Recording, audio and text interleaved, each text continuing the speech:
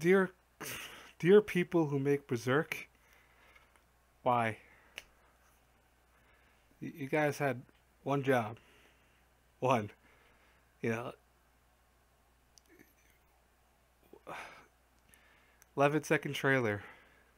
I don't talk usually about news videos. I mean, we're all talking about the news video of this Berserk. You know, the 2017 trailer.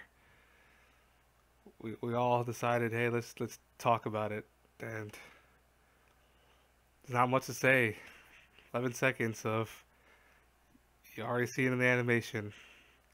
Uh, I'll leave you the link if you guys haven't seen it. I'll leave you the link in the description box to the video for the Berserk trailer for 2017.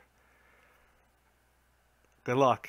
That's all I. That's all I gotta say. Good luck. Um, all hope has been now officially lost. Yeah. Just,